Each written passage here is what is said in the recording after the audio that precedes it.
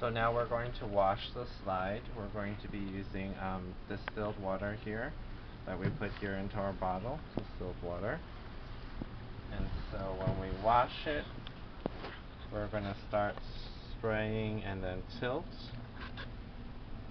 the slide to get it off, making sure that we don't uh, run the water on the actual smear where you can see that I'm just putting the water on the label and letting it wash off. So here's our control. Just gonna wipe the back of it down. We're gonna put it here on the drying rack. I'm gonna turn on the fan to help it dry faster.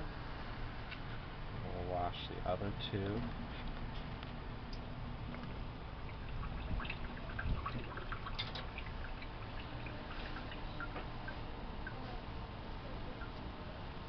You can see that we have a nice stain. You should still be able to see the blood on the stain.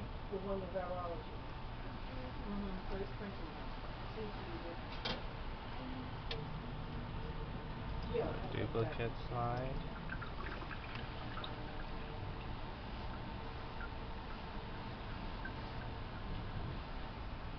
Here. And we'll let it dry for um, probably less than five minutes you want to do this?